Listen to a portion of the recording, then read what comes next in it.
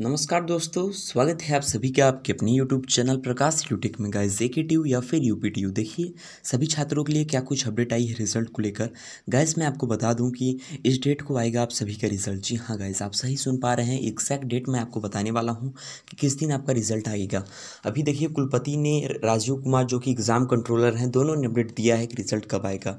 तो उस चीज़ को लेकर मैं वीडियो के अंदर कंप्लीट वे में डिस्कस करने वाला हूँ। साथ ही एक चीज़ और बता दूँगा कि इस बार सभी छात्रों को पास कर दिया जाएगा। जी हाँ गाइज़ आप बिल्कुल सही सुन पा रहे हैं। इस बार सभी छात्रों को पास कर दिया जाएगा। ऐसा मैं क्यों कह रहा हूँ? क्योंकि ये मेरा खुद का एक्सपीरियंस है और चीज़ों के आधार को मतलब दो महीने आगे देखते हुए, उन चीज़ों को विजुलाइज करते हुए मैं चीज़ों को बता रहा हूँ कि भैया देखो, सभी छात्रों को रियायत के साथ पास किया जाएगा। उसके लिए क्या टर्म एंड कंडीशंस हैं? क्या कुछ करना होगा? सारी चीज़ों को कवर करेंगे वीडियो के अंदर। वीडियो बहुत ज़्यादा इंपॉर्टेंट है। वीडियो के भी पार्ट को प्लीज़ यार स्किप मत करना। वीडियो स्टार्ट करने से पहले आप सभी से छोटी सी रिक्वेस्ट है। अगर अभी तक चैनल को सब्सक्राइब नहीं किए हो तो कोई बात नहीं है। अभी चैनल को सब्सक्राइब करके बेल आइकन को हिट कर दो। इससे क्या होगा नेक्स्ट टाइम मैं कोई भी एक ही रिलेटेड वीडियो अपलोड करूँगा, आपको बेहद आसानी से पता चल जाएगा। तो चलिए गाइज़ जो भी भाई बहन मेरे से सवाल करना चाहते हैं, मेरे इंस्टाग्राम आईडी को फॉलो कर सकते हैं। डिस्क्रिप्शन मैंने लिंक को ऑलरेडी मेंशन कर दिया है। तो चलिए वीडियो को स्टार्ट करते हैं। इससे पहले मैं आपको कुछ प्रूफ दिखाऊँ, कुछ आर्टिकल्स दिखाऊँ, जिसमें प्रोफेसर राजीव कुमार ने कुलपति ने क्या कुछ कहा है, उस चीज़ को बताऊँगा। लेकिन उससे पहले आप सभी को मैं बता देता हूँ कि मैं किस आधार पर कह रहा हूँ कि सभी छात्रों को पास कर दिया जाएगा। गाइस जो रिज़ल्ट है, वो जून में आने वाला है। रिज़ल्ट जो मई में आने वाला था, पंद्रह मई को पूरा अंदाज़ा था, वो ऐसा इस बार नहीं होने वाला है।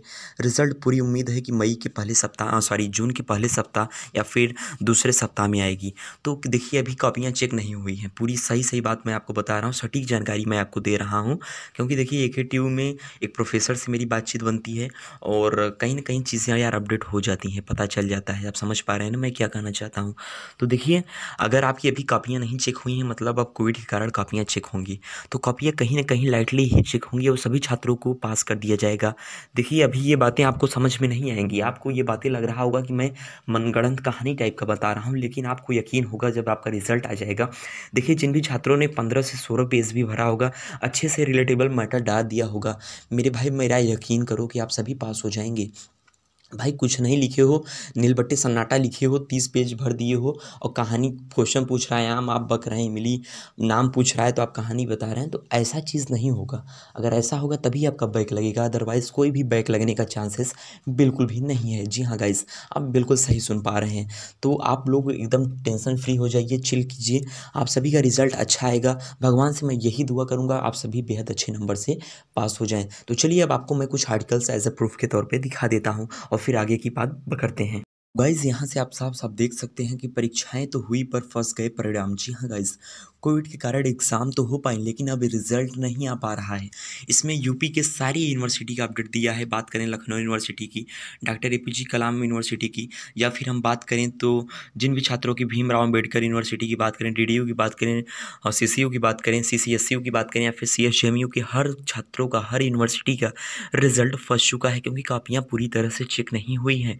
और ऐसे केस में क्या रिज़ल्ट आएगा, रिज़ल्ट में क्या रियायत बरती जाएगी तो सबसे पहले बात कर लेते हैं जो आर्टिकल है, वो आपको उम्मीद करता हूँ कि क्लियर नहीं दिख रहा होगा।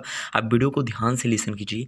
Doctor A Abdul Kalam technical university A K परीक्षाएँ होली से पहले आयोजित हो गई, लेकिन होली के बाद से संक्रमण बढ़ने लगा। परीक्षा हुई एक महीना से ज़्यादा हो गए, लेकिन अभी तक दो लाख कापियाँ स्कैन नहीं हुई हैं। ऐसे में अगर पंद्रह मई के बाद भी काम शुरू होता है तो कम से कम एक महीना लग सकता है परिणाम आने में। जी हाँ गाइज़ अभी देखिए अगर पंद्रह मई के बाद से काम चालू हुआ, इसका ये मतलब है कि वो कापियाँ पंद्रह मई के बाद से नहीं चेक होंगी, क्योंकि जो अनुमान करता है वो कोविड का केस बता रहे हैं कि मई के लास्ट में और पीक पे जाने वाला है।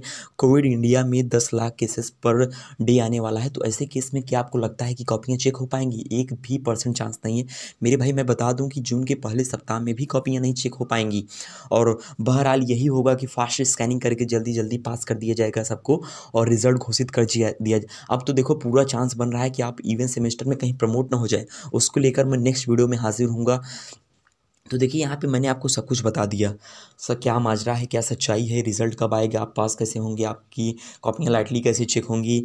तो देखिए गाइज़ यार उम्मीद करता हूँ वीडियो आपके लिए हेल्पफुल होगी। वीडियो अगर आपको एक भी परसेंट अच्छी लगी हो तो प्लीज़ यार वीडियो को एक लाइक तो बनता है। अगर एक भी परसेंट काम की हो तो लाइक कर दीजिएगा। और चैनल को अभी तक तो सब्सक्राइब नहीं की हो तो सोचो समझो मत क्योंकि ए के टी के फ़ील्ड में हर एक ऑफिशियली छोटी बड़ी आप मतलब एकदम जेनुअन अपडेट मैं आपको दूँगा। टाइम टू टाइम और बेलाइकन को हिट करने से क्या फ़ायदा होगा कि आपको मैं कोई भी वीडियो अपलोड करूँगा, बेहद आसानी से नोटिफिकेशन थ्रू पता चल जाएगा। तो चलिए गाइज़ इस वीडियो को शेयर कर दो सारे फ्रेंड्स के पास। जो भी फ्रेंड्स आपके पास होना चाहते हैं, यार हर कोई पास होना चाहता है, मैं भी स्टूडेंट हूँ तो सबको शेयर कर दो, सबको इंजॉय करे चिल करे। और तो गाइज़ मेरे को इंस्टाग्राम पे जो भी सवाल पूछना चाहें, पूछ सकते हैं। डिस्क्रिप्शन मैंने लिंक को ऑलरेडी मेंशन कर दिया है तो इस वीडियो में इतना ही।